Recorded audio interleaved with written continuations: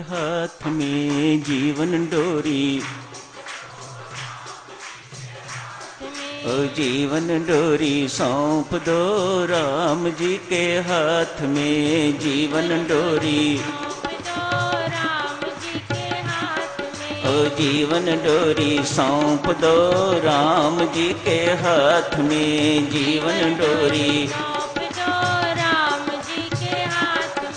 जीवन डोरी सौंप दो राम जी के हाथ में जीवन डोरी सौंप दो।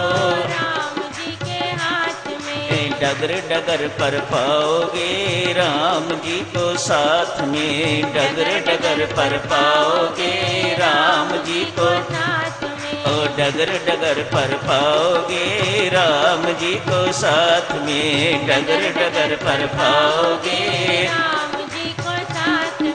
डगर डगर पर पाओगे राम जी को साथ में। डगर डगर पर पाओगे राम जी को साथ में। ओ जीवन डोरी सौंप दो राम जी के हाथ में। जीवन डोरी सौंप दो राम जी के ओ जीवन डोरी सौंप दो राम जी के हाथ में। जीवन डोरी सौंप दो राम हाथ में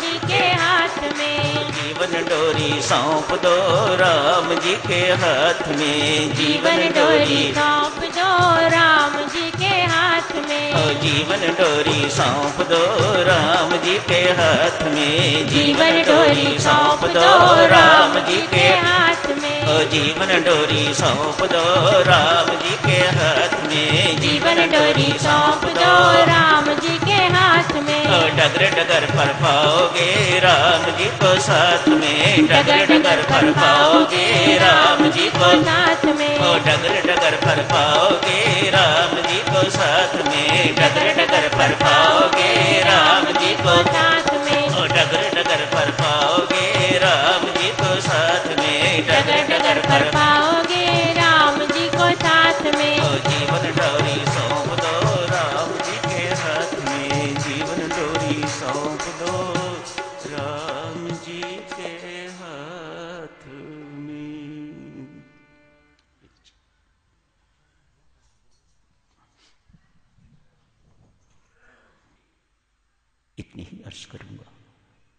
मन सही जगह पर लग गया।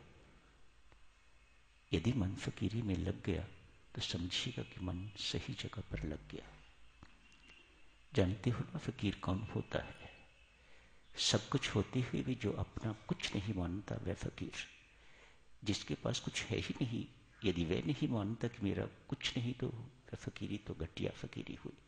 सब कुछ होते हुए भी जो ये माने कि मेरा कुछ नहीं, वह फकीर। मन लग गया मेरा यार, फकीरी में, ऐसी फकीरी में मेरी माता सजनों मन लग गया। तो समझ लेना, मन सही जगह पर लग गया जहाँ उसे लगना चाहिए था। लोग, नाम है मेरी माता सजनों आप सबके श्री चरणों में असंख्य बार मेरी चरण वंदना स्वीकार कीजिएगा। एक सूचना है, पीछे जनरेटर के पास एक प्रदर्शनी लगी है। एक महापुरुष श्री रामवता शर्मा जी ने बहुत खोज की है। दशरथंदन राम के चरण कहाँ कहाँ पड़े हैं? उन सब स्थानों की तस्वीरें ली हुई हैं। थोड़ी सी डिस्क्रिप्शन लिखी हुई है साथ। पीछे प्रदर्शनी लगी हुई है। जो साधक देखना चाहिए प्रदर्शनी सत्संग के बाद देख सकते हैं। ऐसे ऐसे स्थान भी हैं। संभवतः सुने हों, लेकिन कल्पना नहीं कि वह कहाँ कहाँ है। बहुत बड़ा काम किया है उस महापुरुष ने। मैं बहुत बहुत उन्हें बधाई देता हूँ। मेरी दृष्टि में बहुत पूजनीय है वह श्री राम अवतार जी शर्मा। एक एल्बम भी बनाई है, बड़ी छोटी, कलर्ड भी है, ब्लैक एंड वाइट भी है। शायद कुछ बची हुई हूँ। वह सील पर भी हैं जो साधक कोई खरीदना चाहे अपने लिए, किसी को भेंट करने के लिए तो खरीद सकते हैं। इससे बढ़िया और भेंट क्या हो सकती है? उन स्थानों का पता लगेगा। जिन स्थानों के विषय में हमें कोई बोध ही नहीं है, ऐसे ही कहीं किसी रामायण में पढ़ा होगा कि कुछ ऐसा है। लेकिन उन्होंने हर एक स्थान पर जाके तो सुंदर चित्र लिए हैं। डिस्क्रिप्शन दी है। कहाँ है ये? हमें पता ही नहीं कहाँ कहाँ है ये स्थान। उस वक्त क्या कहते थे, आज क्या कहते हैं, ये सब कुछ लिखा हुआ है। तो सत्संग की समाप्ति के बाद जो साधक प्रदर्शनी देखना चाहें, स्वागत है। देखिएगा। अनुशासन रशिएगा देवी सज्जनों। इस मंगलवार की बात है। एक साधक शाम को यहाँ आए। अखंड जाप की पूर्ति तक बैठे।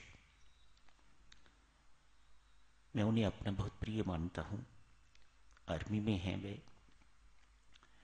लेकिन बहुत अच्छे साधक कारण क्या होगा, आप देखिएगा समाप्ति के बाद किसी देवी ने उनसे बात करनी चाहिए। तो उन्हें कहते हैं, आंटी या दीदी, इस वक्त नहीं। मेरे ऊपर इस वक्त नाम जप का सरूर है। मैं इस वक्त बात नहीं कर सकूँगा। घर जाके फ़ोन करूँगा आपको। जो कोई बात करनी होगी, तब। दूसरी प्रसाद चलो रोज सत्संग की समाप्ति के बाद जैसे ही महाराज के कमरे में पहुँचता हूँ तो एक मिनट के लिए बात सुन जाता हूँ। पीछे कुर्सी पर बैठी महिलाएँ मानो शायद इंतज़ार ही कर रही होती हैं, किस वक्त बंधन से छूटे, किस वक्त सर्वशक्तिमते परमात्मा श्री रामायण नमा का पाठ बंद हो, और किस वक्त हम बातचीत करनी शुरू करें। दो बातें।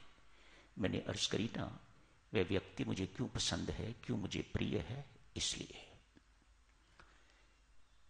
पीछे साधक बैठे हुए इंतज़ार करते हैं, जैसे सिनेमा हॉल की पिक्चर खत्म हुई तो बाहर निकलते ही क्या हल होता है।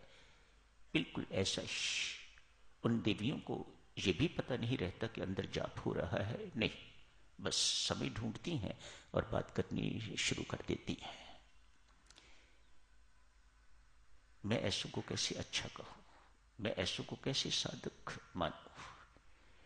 किसी को पता नहीं घर ज़िंदा पहुँचना है कि नहीं पहुँचना, लेकिन बातें कर रहे हैं। तनिक सोचो देवी सचना स्वामी जी महाराज की ये प्रार्थना, निवेदन, आप हर वक्त जाप करो। इसीलिए ना, न जाने किस वक्त प्राण निकल जाए। बातें करते करते प्राण निकल गए तो उसी ढंग की फ़ोटो खींचेगी, उसी ढंग की फ़ोटो आपकी आएगी जैसे आपने खिंचवाई है। मुस्कुराते हुए तो मुस्कुराती फ़ोटो आएगी, रोते हुए तो रोती फ़ोटो आपकी आएगी। बातें करते हुए ही मृत्यु हो गई तो समझ लीजिएगा, कोई ऐसा ही जन्म मिलेगा जहाँ खूब बातें ही बातें करनी होंगी, खूब बातें ही बातें करनी नाम की कमाई समृद्धा चली गई।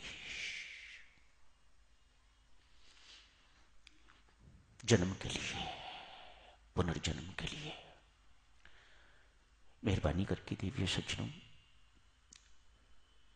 हमारा तो अनुशासन ही यही है जब के अतिरिक्त हम और कुछ न बोले।